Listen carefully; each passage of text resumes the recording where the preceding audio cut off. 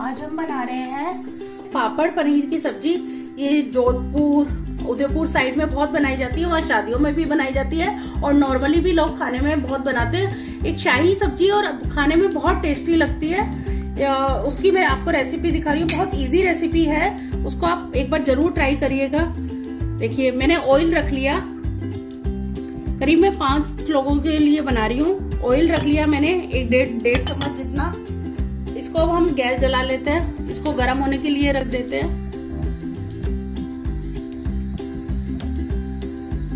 तो गैस को तेज करके ऑयल गर्म कर लेंगे और जीरा क्रैकल होने के लिए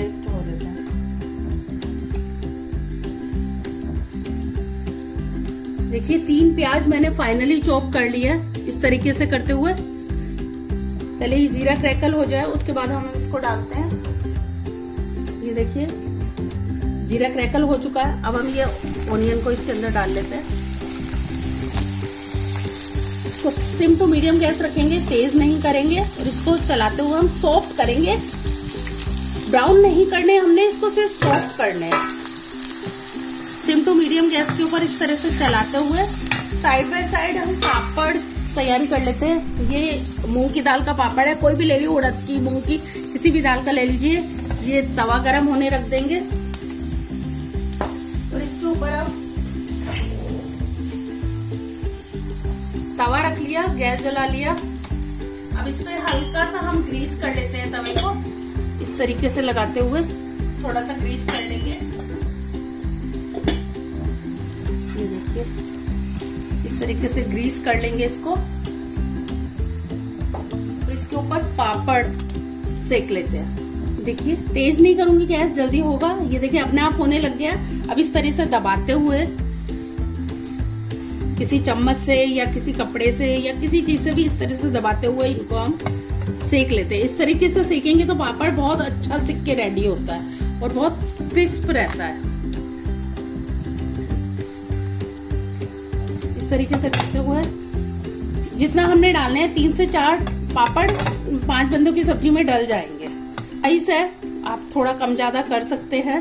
इस तरीके से करते हुए ये देखिए, कितना अच्छा सिक रहा है। ऐसे हम सेक लेंगे। ऐसे करते हुए हमने चार पापड़ कर लिए हैं। आपकी रिक्वायरमेंट के हिसाब से आप कम ज़्यादा थोड़ा कर सकते हैं। ये देखिए, मैंने भून के रख लिया है। और ये प्याज भी मेरे होने वाले हैं। इसको चलाते हुए मैंने कर लिए। प्याज भी जितनी देर में मैंने पापड़ करे, मेरे प्याज भी होने वाले हैं बस। ये देखिए, इस स्टेज पे जो मेरे प्याज होने वाले हैं, मैंने एक चम्मच ग्रीन चिल्ली डाल दी है बारीक काट के।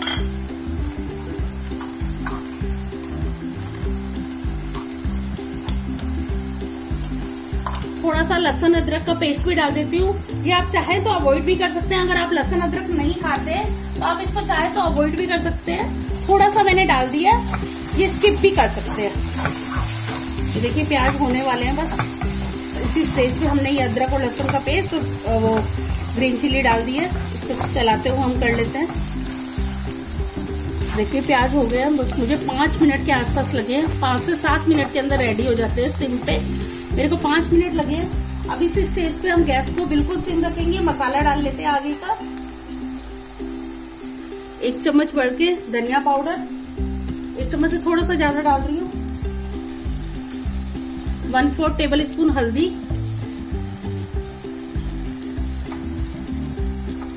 Half table spoon red chili powder half table spoon से थोड़ा सा कम जीरा powder one four table spoon garam masala और हाथ से क्रश करते हुए एक चम्मच कस्तूरी मेथी। ये देखिए, चला लेंगे इसको हम और दो मिनट मसाले को भून लेते हैं अच्छे से। मसाला भून लिया है। एक से दो मिनट ही चलाते हुए हमने भूला इस स्टेज पे अब हम टमाटर, तीन टमाटर ज़्यादा बड़े नहीं थे, छोटे ही थे। टमाटर मेरे पास, ये मैंने डाल दिया। अब इसको बिल्कुल हम चम्मच को अलग साइड उठा के रख देंगे और नमक डाल देते हैं। बहुत इजी और बहुत जल्दी बनने वाली रेसिपी है। स्वाद अनुसार नमक डाले। मैंने एक से चम्मच से थोड़ा सा ज़्यादा डाला है। आप अपने टेस्ट के अनुसार कम ज़्यादा कर सकते हैं। और इसको दो से तीन मिनट के लिए ढक के रख देंगे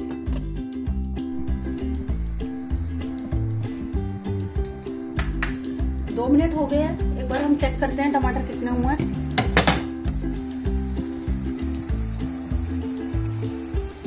अभी नहीं हुआ है। दो मिनट और इस स्टेज पे हम इसके अंदर ये घर की फ्रेश मलाई, दो चम्मच जितना मैं डाल रही हूँ इसके अंदर। बहुत अच्छा टेस्ट देगी। आप चाहे तो मलाई ना हो तो आप क्रीम भी डाल सकते हैं। मैं घर की मलाई डाल रही हूँ। ये देखिए, मलाई डाल दी है। इसको भी हम नहीं लाएँगे। बिल्कुल इसको भी सिर्फ़ ढक के रख देंगे। ये दो मिनट और रखेंगे। दो मिनट में ये दोनों चीज़ें हमारी हो जाएँगी। देखिए, दो मिनट हो गए। चेक करते हैं हम। टमाटर हो चुके हैं। इसको इस तरीके से करते हुए थोड़ा सा दबा देंगे टमाटर को। मलाई भी हमारी पिघल चुकी है का। बाकी अभी हम पनीर डालेंगे, उसके साथ हो जाएगा। ये देखिए। इसको थोड़ा सा मीडियम गैस कर लेते हैं और इसको एक बार भून लेते हैं। हो गया है ये। बस इसको थोड़ा सा गैस तेज करके हम इसको भून लेंगे मीडियम गैस करके। अब 250 ग्राम मैंने पनीर लिया है, इसको क्रम्बल कर लेंगे इस तरीके से हाथ से। आप चाहे अगर फ्रेश ले लीजिए, चाहे आप पैकेट वाला ले लीजिए। पनीर आप कोई भी यूज़ करते हैं, चाहे आप घर पे बना के यूज़ कर लीजिए। मैं ज़्यादा घर पे करती हूँ, आज मैं बाज़ार वाला यूज़ कर रही हूँ। इस तरह से क्रम्बल करते हुए। देखिए क्रम्बल करते हुए। इसके अंदर हमने डाल दिया देखिए, गैस को फिर वापस से मीडियम टू सिम कर लेंगे, सिम टू मीडियम। इसको हिला देते हैं अच्छे से।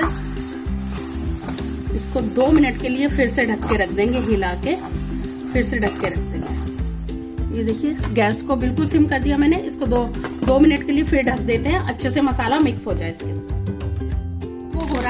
पापड़ को हम थोड़ा थोड़ा इस तरीके से करते हुए तोड़ लेते हैं। बहुत बड़े बड़े नहीं डालेंगे हम, थोड़ा इस तरीके से करते हुए आराम से तोड़ लेते हैं। दो मिनट हो गए हैं करीब। देखिए, मसाला बिल्कुल मिक्स हो गया। अच्छे से भुन भी गया, तेल भी छोड़ दिया इसने। आप चाहे तो इसको देसी घी में बना सकते हैं देसी घी में भी बहुत अच्छा टेस्ट देगी। अब इस तरीके इस स्टेज पे अब हम गैस को बिल्कुल सिम रख के पापड़ को मिक्स कर देंगे इसके अंदर। मैंने पापड़ डाल दिया। पापड़ का एक बहुत अच्छा टेस्ट आता है। इस रेसिपी से एक बार ज़रूर आप ट्राई करिएगा। आप बिल्कुल अलग टेस्ट की सब्ज़ी बनेगी, ये देखिए। मिक्स कर लिया। बस इस स्टेज पे सिम टू मीडियम गैस रखेंगे और एक बार बस मिक्स करेंगे। देखिए, मेरी पापड़ पनीर की सब्ज़ी रेडी है। इसको अब हम गार्निश कर लेते हैं धनिया से। और फिर आगे के सर्व करते हैं। ये देखिए। इसको मैंने थोड़ा तेज कर लिया। तेल तो हमारा छोड़ा हुआ इसने अलग। बन के रेडी है, गैस बंद कर लेते हैं। धनिया से गार्निश कर लेते हैं, इस तरीके से करते हुए। अब इसको सर्व करते हैं। ये लीजिए, हमारी पापड़ पनीर की सब्ज़ी रेडी है। कमेंट सेक्शन में बताइएगा, इस रेसिपी से एक बार बना के ज़रूर ट्राई करिएगा, बताइएगा कैसी बनी और खाने में कैसी है, बहुत अच्छी बनती है, ज़रूर ट्राई करिएगा। और मेरे चैनल को लाइक शेयर सब्सक्राइब करना मत भूलिए।